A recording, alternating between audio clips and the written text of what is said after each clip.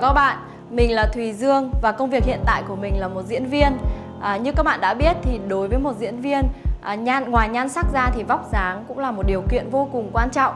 À, trước đây thì Dương rất là tự ti về số đo vòng 2 của mình.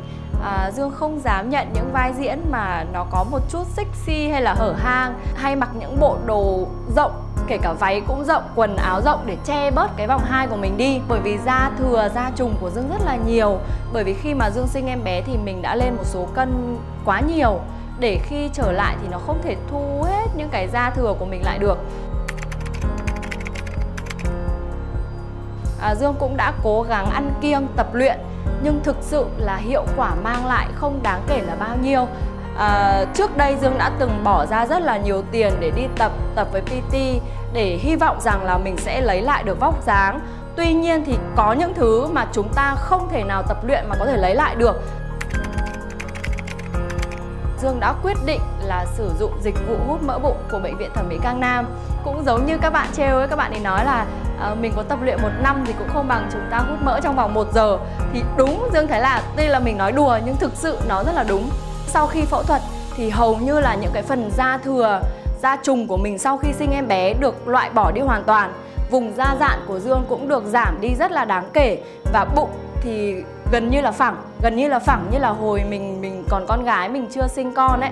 Thời điểm hiện tại thì các bạn thấy rằng là Dương đã hoàn toàn tự tin khi mà à, diện một bộ váy body như thế này. Một bộ váy mà từ trước đến nay Dương chưa bao giờ dám mặc khi mà có một cái vóc dáng mơ ước như thế này rồi, thì Dương cũng vẫn nhắc nhở bản thân mình là phải tập luyện. Ví dụ như là tập những động tác nhẹ nhàng của yoga, có thể bơi lội, chạy bộ nhẹ nhàng được để giữ gìn được cái vóc dáng đó mãi mãi. Trước khi phẫu thuật thẩm mỹ thì Dương cũng đã tìm hiểu rất là nhiều và lý do để Dương lựa chọn Bệnh viện Thẩm mỹ Cang Nam.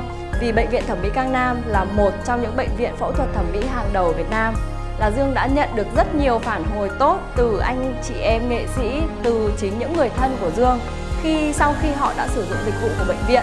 Các bác sĩ ở đây thì có chuyên môn rất là cao rất là chu đáo ân cần à, cơ sở vật chất ở bệnh viện máy móc rất là hiện đại khang trang.